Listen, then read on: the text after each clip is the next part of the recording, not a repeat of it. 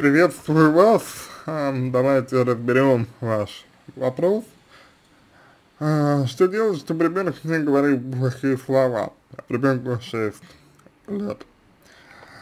На мой взгляд, а, первое, что нужно сделать, это а, попытаться понять, о чем хочет сказать ребенок, используя слова. Нужно понимать, что слова в этом возрасте не имеют э, такого большого значения. Ребенок, ребенок использует те слова, которые он услышал, и, и системы запретов, системы фильтра еще нет. Она еще не сформировалась. Да, большой вопрос, э, где у кого ребенок услышал эти слова, большой вопрос, почему эти слова более предпочтительные, чем, например, другие. Вот, и здесь действительно очень важный момент заключается в том, какая атмосфера в семье, какие примеры ему демонстрируются, как э, общаетесь вы, человек, который задает вопрос, как общается другой родитель, ребенка, если он есть, да, как общаются взрослые, которые находятся рядом, рядом с ребенком, это очень важно.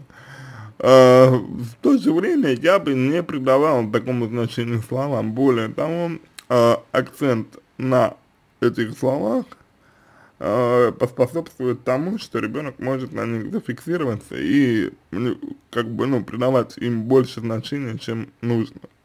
Ну, вот, что в итоге породит некоторые неприятные э, реакции, некоторые неприятные последствия в будущем. Поэтому ваша задача понять, что ребенок хочет сказать, ваша задача э, услышать его, невзирая на слова, потому что эти слова не имеют такого значения, как, например, им можете придать вы и ваша задача а, демонстрировать ему а, альтернативные способы выражения тех же а, чувств.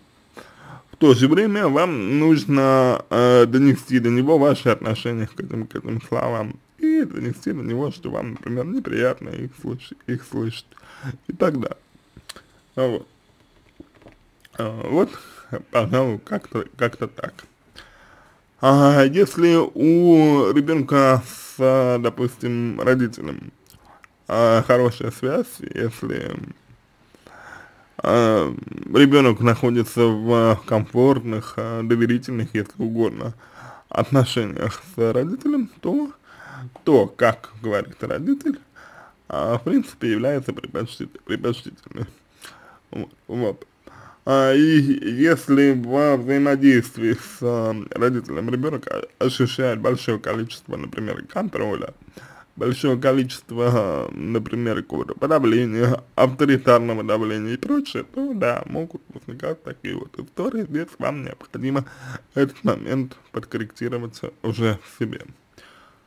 А в себе же вам нужно подкорректировать момент, связанный с возможным напряжением в семье, с возможной агрессией в семье, э, с возможной недоговоренностью в семье, да, когда люди, ну, не говорят откровенно то, что их вот волнует, а окольными путями пытаются выражать то, что их беспокоит. В этом случае ребенок может чувствовать тревогу, в этом случае ребенок может чувствовать даже, даже э, страх и подобные слова могут способствовать, конечно, какому-то отреагированию вот, этих, вот этих вот чувств, для, возможно, для ребенка еще непонятно.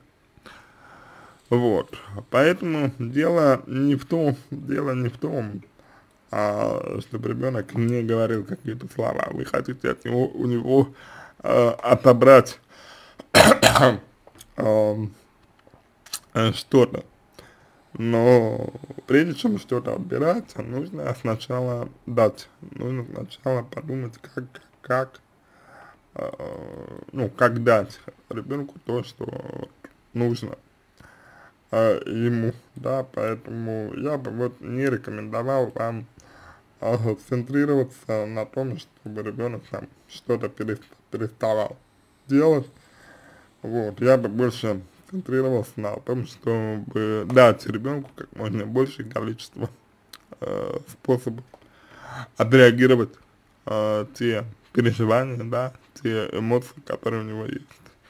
И само собой тогда произойдет то, что ребенок не будет придавать значение какому-то конкретному способу, вот, не, не будет на этом центрироваться и, соответственно, внимание на этом заостряться не будет, эти слова у него не приживутся.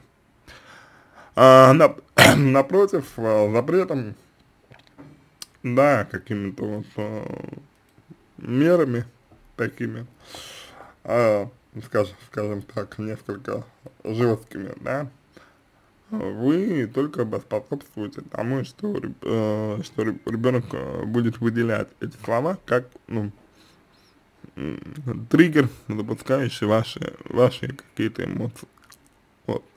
Как он на это отреагирует, мы пока не знаем, потому что очень мало информации для анализа прямо сейчас. Вот, на этом все. Я надеюсь, что вам это было полезно, интересно. А, желаю вам всего самого доброго, удачи